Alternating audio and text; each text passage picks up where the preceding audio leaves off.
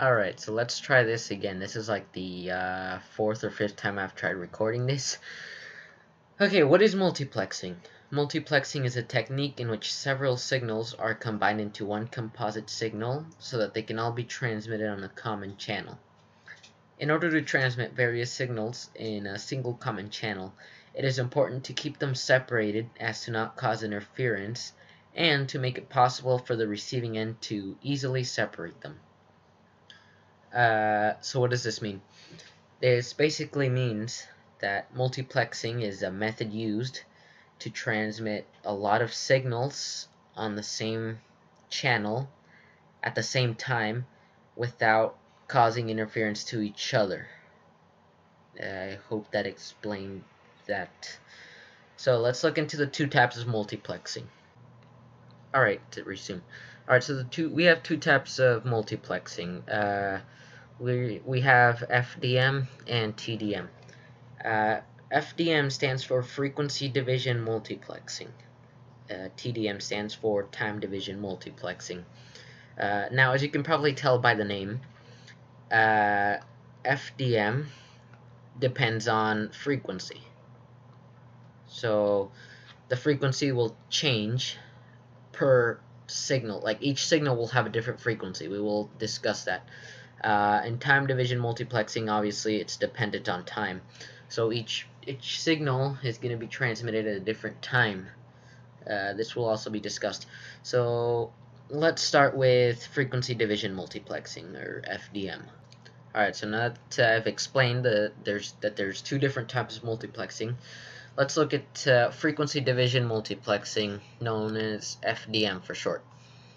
So in frequency division multiplexing, all users use the same common channel at the same time for the full duration of time. And however, since each user has the full access to the full amount of time, they have a limited and allocated portion of bandwidth. So what does this mean exactly? Uh, in summary, this means that all the users on one channel can use it for the full duration of the time interval. So let's just say for unlimited time. But they each have a limited portion of the frequency available to them. Now, because they have the full duration of time to transfer their telemetry, they do not need a large bandwidth. If it was the opposite and there was a short amount of time, then you would need a large bandwidth, but uh, that will be discussed later.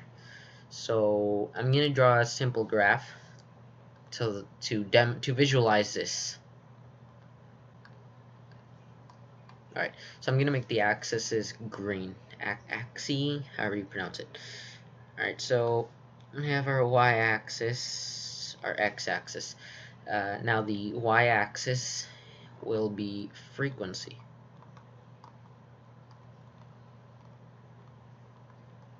And the x-axis will be time.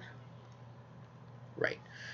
So I'm going to show this example with three users. Now I'm going to make each user a different color. So we're going to get user 1, or just, yeah, uh, which is going to be red. Then user 2, let's make it pinkish, pink magenta like. And user 3 will be I'm trying to find a color that I haven't used. Let's make it yellow.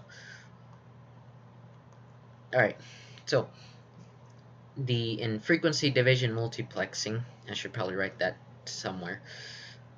Here, let me just write that real quick. So this is the FDM. In frequency division multiplexing, each user has a full amount of time but limited frequency. So let me show you what that would look like visualized. So user 1 which is yellow. It's just two, three. Alright, user one gets will look like this. Alright, user two. So I'm trying to pick the colors as closely as I made them.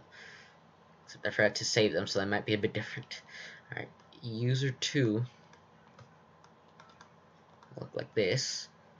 And finally, user three will look like this. So, each user, all three users, as you can see, gets the get the full amount of time available. So from here to here, that's really bad line. But they get from this from here to here. They get that full time available to transmit their telemetry. However, they get a limited amount of bandwidth. So user 3 gets from here to here, user 2 gets from here to here, and user 1 gets from here to here. Now, this obviously limits the amount of data that can be transferred at once, but since they get the full amount of time, it doesn't matter anyways. So, yeah, this is just allocated user 1, user 2, and user 3. Uh, so hopefully that made sense. If, yeah. Alright, so now let's take a look at uh, time division multiplexing. Uh, in time division multiplexing, each user gets to utilize the full available bandwidth, uh, but can only use it in allocated time slots or time periods. Uh, and this fixes a crosstalk issue. So let's let's talk about what that means. This basically means that each user can use the full bandwidth that's allocated for that frequency. So they can use the whole frequency. But they can only use it for a limited amount of time. Unlike frequency division multiplexing, where they had allocated bandwidths but unlimited time. Now, since they have limited time to transfer telemetry here, they get more bandwidth. And since they have more bandwidth, they do not need as much time to transfer all the data. Uh, what I forgot to mention about frequency division multiplexing was that there is still a possibility of crosstalk or interference since all signals are transmitting at the same time. Uh, in time division multiplexing, that is not no longer possible. There is no crosstalk in time division multiplexing because no signal no there's only one signal transmitting at a time. No more than one signal is allowed to transmit at one time. So, uh, I should be able to explain this way easier, so I'm going to make a graph similar to the one I made for frequency division multiplexing.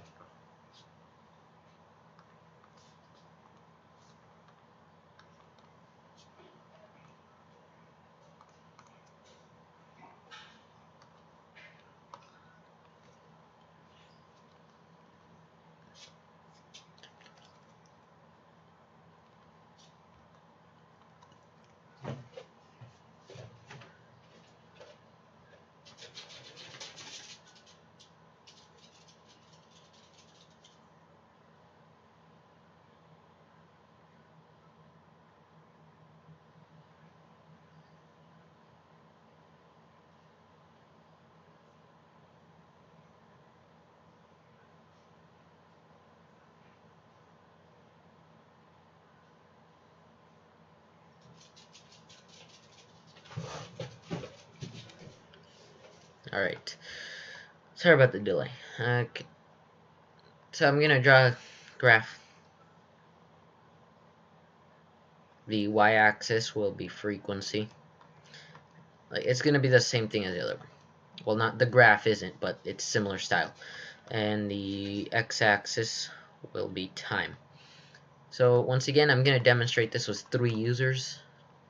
I'm going to assign them the same colors. So I got one user is going to be red. The other user will be pink, I think it was. Pink. And then the third user is going to be yellow. Uh, I'm trying to find a good color. Okay, yellow. So, now instead of being horizontal bars, they're going to be vertical bars. And I'll explain why in a second. So, user 1 going to look like this. Uh, so I'm just going to label this user 1. And uh, I'm just going to do this for the remaining two users.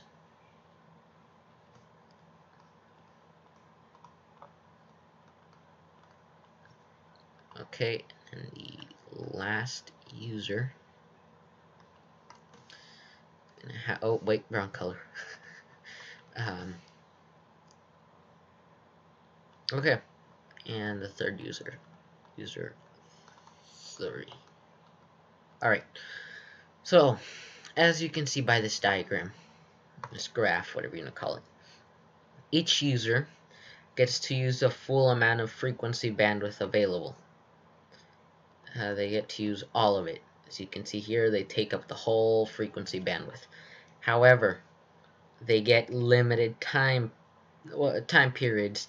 Uh, they're referred to as time slots. So as you can see, user 1 gets from here to here.